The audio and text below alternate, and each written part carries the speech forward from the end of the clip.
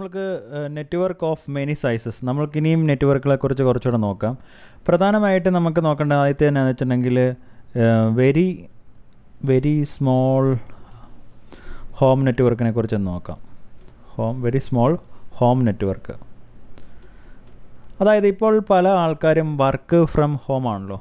അപ്പോൾ അവരെങ്ങനെയാണ് network use ചെയ്യുന്നത്? അവർക്കൊരു ലാപ്ടോപ്പ് ഉണ്ടാവും നോർമലായിട്ട് ആ ലാപ്ടോപ്പിൽ നിന്ന് അവർക്ക് ഇത് പല രീതിയിൽ അവർക്ക് ഉപയോഗിക്കാം. ഒന്നെങ്കിൽ അവർ മൊബൈൽ ഫോണിൽ ടെതറിങ് ഓൺ ആക്കിയിട്ട് മൊബൈൽ ഫോണിൽ ഇന്റർനെറ്റ് കണക്ഷൻ ഉണ്ടാവും. അവിടുന്ന് ടെതറിങ് ചെയ്ത് എടുക്കും അല്ലേ? ഇനി അതല്ലെങ്കിൽ എന്തെടുക്കും? അവരുടെ വീട്ടിൽ അവർക്ക് വൈഫൈ റൗട്ടർ ഉണ്ടാവും. ആ റൗട്ടറിൽ നിന്ന് അവർ ഇന്റർനെറ്റ് എടുത്ത് യൂസ് ചെയ്യും. ഇനി അതും അല്ലെങ്കിൽ എന്ത് ചെയ്യും? അവർക്ക് അവിടുന്ന് ഈ വൈഫൈ റൗട്ടറിൽ നിന്ന് അവർക്ക് കേബിൾ കണക്ഷൻ എടുത്ത് അവരുടെ ലാൻഡ് പോർട്ടിലോട്ട് കണക്ട് ചെയ്യാനായിട്ട് സാധിക്കും. ഇങ്ങനെ ഇങ്ങനെയൊക്കെ അവർക്ക് കണക്ട് ചെയ്യാനായിട്ട് സാധിക്കും. ഒന്നെങ്കിൽ ഒന്നെങ്കിൽ മൊബൈലിന്റെ ടെതറിങ് ഹോട്ട്സ്പോട്ട് ഉപയോഗിച്ച് കണക്ട് ചെയ്യാൻ പറ്റും ലാപ്ടോപ്പായിട്ട് അതല്ലെങ്കിൽ വൈഫൈ എടുക്കും. വൈഫൈ റൗട്ടറിൽ നിന്ന്. അതല്ലെങ്കിൽ ഇന്റർനെറ്റ് കേബിൾ ഉപയോഗിച്ച് കണക്ട് ചെയ്യുന്നു. എന്നിട്ട് ഇവിടെ വി പി എൻ ഉപയോഗിച്ച് ഇവർക്ക് നെറ്റ്വർക്കുമായിട്ട് ഇത് ഇന്റർനെറ്റിലൂടെ അവർ ഓഫീസുമായിട്ട് കണക്ട് ചെയ്യാനായിട്ട് സാധിക്കുന്നതാണ്. ഓക്കെ ഇതാണ് ഒരു ടൈപ്പിലുള്ള കണക്ഷൻ എന്ന് പറയുന്നത്. വെരി സ്മോൾ ഹോം നെറ്റ്വർക്ക് എന്ന് പറയുന്നത്. ഇവിടെ അവർക്ക് ടാബും ഒക്കെ ഉണ്ടെങ്കിൽ അതുമെല്ലാം അവർക്ക് അവരുടെ നെറ്റ്വർക്കുകൾ ഡിവൈസ് അതായത് ഇവർക്ക് വൈഫൈ ഒക്കെ ആയിട്ട് കണക്ട് ചെയ്തൊക്കെ യൂസ് ചെയ്യാനായിട്ട് സാധിക്കും. ഇനി രണ്ടാമത് വേറെ ടൈപ്പ് ഉള്ളതെന്ന് പറഞ്ഞിട്ടുണ്ടെങ്കിൽ അതിനെ വിളിക്കുന്ന പേര് സോഹോ എന്നാണ് വിളിക്കുന്നത്. സോഹോ സോഹോ എന്ന് പറഞ്ഞിട്ടുണ്ടെങ്കിൽ സ്മോൾ ഓഫീസ് ഹോം ഓഫീസ് എന്നാണ് അറിയപ്പെടുന്നത്. സ്മോൾ ഓഫീസ് അതുപോലെ തന്നെ ഹോം ഓഫീസ് അതായത് ചിലർ സ്റ്റാർട്ടപ്പിനൊക്കെ ആയിട്ട് അവരുടെ വീട് തന്നെയായിരിക്കും അവർ ഓഫീസായിട്ട് കൺസിഡർ ചെയ്യുന്നത്. ഓക്കെ അതല്ലെങ്കിൽ തന്നെ എന്തെങ്കിലും കാരണങ്ങൾ കൊണ്ട് അവരുടെ വീട്ടിൽ തന്നെ ഓഫീസ് റൺ ചെയ്യും. ഓക്കെ അതപ്പോൾ അതല്ലെങ്കിൽ വളരെ ചെറിയ ഓഫീസിനെയൊക്കെയാണ് നമുക്ക് സോഹോ കാറ്റഗറിയിൽ കൊണ്ടുവരാനായിട്ട് സാധിക്കും. അതായത് നോർമലി പറയുന്നത് ടെൻ വൺ ടു ടെൻ ആണ് അവിടുത്തെ കമ്പ്യൂട്ടറുകളുടെ എണ്ണം ഡിവൈസുകളുടെ എണ്ണം പറയുന്നത് അല്ലെങ്കിൽ യൂസേഴ്സിന്റെ എണ്ണം പറയുന്നത്. പക്ഷേങ്കിൽ ഒരു ടെൻ ടു ഫിഫ്റ്റീൻ സിക്സ്റ്റീൻ വരെ ആയാലും കുഴപ്പമൊന്നുമില്ല. അപ്പോൾ നമുക്ക് ten to sixteen computers normally നമുക്ക് പറയാനായിട്ട് പറയും. പറ്റും. അപ്പോൾ കമ്പ്യൂട്ടേഴ്സ് അല്ലെങ്കിൽ യൂസേഴ്സ് നമുക്ക് പറയാനായിട്ട് സാധിക്കും. അതായത് ഇവിടെ കുറേ കമ്പ്യൂട്ടറുകളുണ്ട്. ഈ കമ്പ്യൂട്ടറുകളൊക്കെ സ്വിച്ചുമായിട്ട് കണക്റ്റ് ചെയ്യാം. ഇത് ഓരോ ഓരോരുത്തരും ഡിപ്പെൻഡ് ചെയ്തിരിക്കും. അവരുടെ എത്രത്തോളം പൈസ ഇതിനു വേണ്ടി മുടക്കും എന്നുള്ള കാര്യമോട് ഇതിനെ ആശ്രയിച്ചിരിക്കും.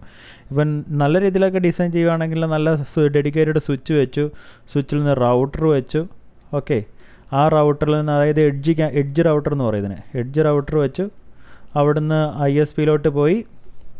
ഐ എസ് പിയിൽ നിന്ന് ഇന്റർനെറ്റിലോട്ട് പോയി. ഇങ്ങനെ അവർക്ക് ഡിസൈൻ ചെയ്തെടുക്കാനൊക്കെ പറ്റും. എഡ്ജ് റൗട്ടറൊക്കെ കൊടുത്തിട്ട്. അതായത് ഒരു ഇന്റർനെറ്റ് കണക്ഷൻ മാത്രമല്ല വേറൊരു ഇന്റർനെറ്റ് കണക്ഷൻ. അതായത് രണ്ട് I S P I S P one I S P two പിന്നെ ഇവർക്ക് വൈഫൈ കിട്ടുന്നതിനായിട്ട് ആക്സസ് പോയിന്റ് എന്ന് പറയുന്ന ഒരു ഡിവൈസ് പ്രത്യേകം വെക്കാനായിട്ട് പറ്റും. അതായത് ഭിത്തിയുടെ മുകളിലൊക്കെ നമുക്ക് കാണാമല്ലോ. അല്ല ഭിത്തിയിലൊക്കെ ആക്സസ് പോയിന്റ് വെച്ചിട്ടുണ്ട് അപ്പം ഈ ആക്സസ് പോയിന്റിൽ നിന്ന് ഇവർക്ക് ലാപ്ടോപ്പൊക്കെ യൂസ് ചെയ്യുന്നവർക്ക് അങ്ങോട്ട് വൈഫൈ സിഗ്നൽ കിട്ടിക്കോളും. അപ്പം ഇതെന്ന് പറയുന്നത് അവർ എത്രത്തോളം അവരുടെ വർക്കിന്റെ ആ ഒരു മൂല്യം കൂടെ കൺസിഡർ ചെയ്തിട്ട് ഇരിക്കും അവരുടെ നെറ്റ്വർക്ക് ഡിസൈൻ എന്ന് പറയുന്നത്. ഓക്കെ ഇനി നോർമലായിട്ട് ഈ സോഹോയിൽ ആൾക്കാർ ചെയ്യുന്നതെന്നാന്ന് ചോദിച്ചിട്ടുണ്ടെങ്കിൽ നമ്മുടെ ഈ വൈഫൈ റൗട്ടർ ഉണ്ടല്ലോ നമ്മുടെ വീട്ടിലൊക്കെ സാധാരണയുള്ള ഹോം റൗട്ടർ അല്ലെങ്കിൽ വൈഫൈ റൗട്ടർ അല്ലെങ്കിൽ മോഡം എന്ന് വൈഫൈ എന്നൊക്കെ നമ്മൾ പൊതുവെ വിളിക്കുന്ന അതിന്. അതിന്റെ അകത്തുള്ള പ്രത്യേകത എന്ന് പറഞ്ഞിട്ടുണ്ടെങ്കിൽ അത് മാത്രമേ ഉള്ളായിരിക്കും അവർക്ക്. അത് നേരെ ഐ എസ് പിയിലോട്ട് പോകണം ഓക്കെ ഐ എസ് പിയിൽ നിന്ന് ഇന്റർനെറ്റിലോട്ട് പോകുന്നു. എന്നിട്ട് ഇവരിവിടെ കമ്പ്യൂട്ടറുകളൊക്കെ ഇവത്തിൽ നിന്ന് കണക്ഷൻ വിളിച്ചോ അല്ലെങ്കിൽ ലാപ്ടോപ്പിൽ വഴി വൈഫൈ ഉപയോഗിച്ചോ ഒക്കെ അവർ കണക്ട് ചെയ്യുന്നു. അവരുടെ പ്രിന്ററും ഒക്കെ അവർക്ക് എങ്ങനെയുള്ള കണക്ട് ചെയ്യാം. എന്നിട്ട് ഇവർ നോർമലി സാധാരണ ഒരു ഹോം ഹോം ഓഫീസ് നടക്കുന്ന എനിക്ക് ഇതിങ്ങനെ ചെയ്തിട്ട് ഈ നമ്മുടെ ഈ വൈഫൈ റൗട്ടറിനുള്ള പ്രത്യേകത എന്ന് പറഞ്ഞിട്ടുണ്ടെങ്കിൽ ഇതിന്റെ അകത്ത് റൗട്ടറുണ്ട് റൗട്ടറിന്റെ ഫങ്ഷൻ ചെയ്യാനായിട്ട് പറ്റും. അതുപോലെ സ്വിച്ചിന്റെ ഫങ്ഷൻ ചെയ്യാനായിട്ട് പറ്റും. അതുപോലെ ആക്സസ് പോയിന്റിന്റെ ഫങ്ഷൻ ചെയ്യാനായിട്ട് പറ്റും. അതായത് വൈഫൈയുടെ ഫങ്ഷൻ ചെയ്യാൻ പറ്റും. അപ്പം ഇതെല്ലാം കൂടെ കൂടിയ ഈ ഒരൊറ്റ റൗട്ടറിനെ ഈ ഒരൊറ്റ റൗട്ടറിനെ വെച്ചിട്ട് ഹോം ഓഫീസ് നെറ്റ്വർക്ക് നമുക്ക് റൺ ചെയ്യാനായിട്ട് സാധിക്കും. പക്ഷേങ്കിൽ നമ്മൾക്ക് എപ്പോഴും പ്രോ അത് ഓരോരുത്തരും ഡിപ്പെൻഡ് ചെയ്തുകൊണ്ടിരിക്കും എന്നുള്ള കാര്യം ഞാൻ ആദ്യം പറഞ്ഞു. എങ്ങനെ വേണമെങ്കിലും നമുക്കത് ഡിസൈൻ ചെയ്യാം. ഇനി മൂന്നാമത് ഉള്ളൊരു കാറ്റഗറി നെറ്റ്വർക്ക് എന്ന് പറയുന്നത് എന്താണെന്ന് വെച്ചിട്ടുണ്ടെങ്കിൽ നമ്മൾ medium to large size network എന്ന് പറയും. Medium to large size network.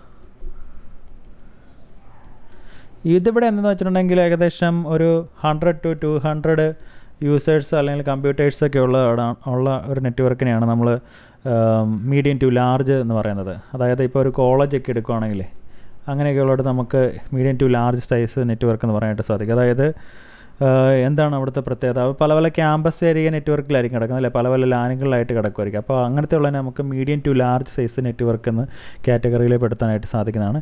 ഇനി വേറൊരു കാറ്റഗറി ഉണ്ട് world wide network world wide network എന്ന് പറഞ്ഞിട്ടുണ്ടെങ്കിൽ ഇപ്പം നമ്മുടെ നമ്മൾ വർക്ക് ചെയ്യുന്ന കമ്പനിക്ക് ലോകത്തിന്റെ പല ഭാഗത്തും ബ്രാഞ്ചുകളുണ്ടെന്ന് കരുതുക. അതായത് ഇപ്പം ഇന്ത്യയിലൊരു ബ്രാഞ്ചുണ്ട് ഇന്ത്യയിൽ ബ്രാഞ്ചുകളുണ്ട് അതുപോലെ തന്നെ യു കെയിലുണ്ട് യു കെയിലുണ്ട്. അതുപോലെ തന്നെ യു എസ് എയിലുണ്ട്. ഇങ്ങനെ പല പല രാജ്യങ്ങളിലായിട്ട് ബ്രാഞ്ചുകൾ കിടക്കുകയാണ് ഇവ തമ്മിലെല്ലാം നമ്മൾക്ക് കണക്ട് ചെയ്ത് വർക്ക് ചെയ്യണം. അപ്പോൾ ഇങ്ങനെയുള്ള നെറ്റ്വർക്ക് നമുക്ക് വേൾഡ് വൈഡ് നെറ്റ്വർക്ക് എന്ന് നമുക്ക് പറയാനായിട്ട് സാധിക്കും. ഈ വേൾഡ് വൈഡ് നെറ്റ്വർക്കിൽ ഈ പല പല ബ്രാഞ്ചുകൾ എവിടെയായിരിക്കും? പല പല ലൊക്കേഷനുകളായിരിക്കും പല പല ബ്രാഞ്ചുകൾ ലോകത്തിന്റെ അനാഭാഗത്തായിട്ട് ഇരിക്കുമായിരിക്കും അപ്പോൾ അവയെല്ലാം തമ്മിൽ നമുക്ക് കണക്ട് ചെയ്ത് നെറ്റ്വർക്ക് ഫോം ചെയ്ത് കമ്മ്യൂണിക്കേറ്റ് ചെയ്യേണ്ടതായിട്ടുണ്ട്. അപ്പോൾ ഇതാണ് നെറ്റ്വർക്ക് സൈസ് അനുസരിച്ച് നമുക്ക് തരംതിരിക്കാനായിട്ട് സാധിക്കുന്നത് കേട്ടോ.